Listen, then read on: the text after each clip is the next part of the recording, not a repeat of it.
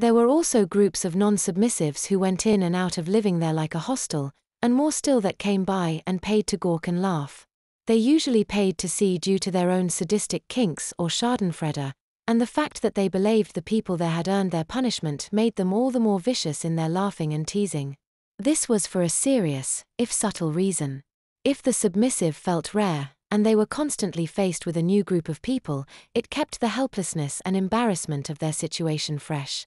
As had been explained to Alex, the reason a sissy male was embarrassed to be in a dress was because men didn't wear dresses. If Alex had spent his life surrounded by other sissy babies, eventually it wouldn't seem to be strange at all.